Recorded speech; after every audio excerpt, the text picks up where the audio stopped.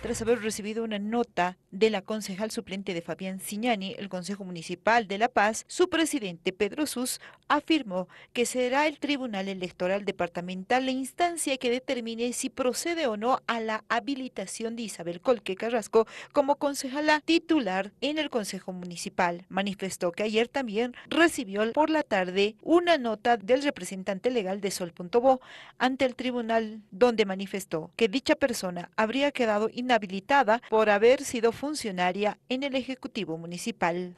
Bueno, ayer hemos recibido una nota de la eh, señora Isabel Colque, eh, señalando que ella es la eh, suplente, efectivamente es la suplente electa, pero hemos recibido también ayer por la tarde una nota de Solvó, de la representante legal de Solvó ante la Corte Electoral, señalando que habría quedado inhabilitada la señora Isabel Colque por haber prestado funciones en el Ejecutivo Municipal.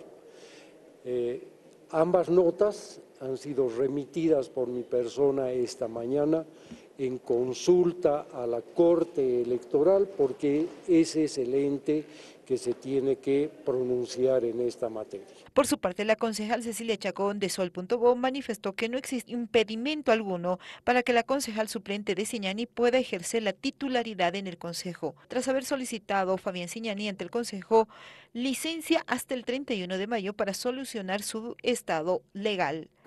Bueno, el, alcalde también ha dicho que los suplentes no se pueden habilitar eh, porque hay algunas dificultades. Las dificultades las ha generado el mismo Ejecutivo empleando dentro del gobierno municipal a los suplentes. Entonces, es lamentablemente un error que ha adoptado Soberanía y Libertad, pero tendrá que subsanarse.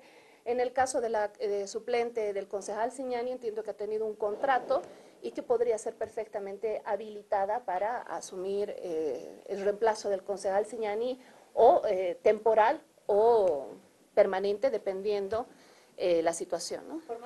Por su parte, el concejal del Movimiento al Socialismo, Jorge Silva, manifestó que no existe impedimento para que la concejal Colque pueda ejercer la titularidad en el cargo, porque ella nunca fungió como funcionaria permanente del municipio paseño. Sí hemos escuchado la declaración que ha hecho la concejal suplente del concejal Siñani, y haber eh, trabajado en contrato tres meses no, no es eh, factor de inhabilitación. Solamente la denuncia ¿no? expresa o tácita de la suplente podría inhabilitarla. Sin embargo, nunca ella ha presentado denuncia ni ante el órgano electoral ni ante el Consejo Municipal, no ha sido funcionaria de planta del Gobierno Municipal de La Paz, es decir, no figura en las planillas de personal fijo,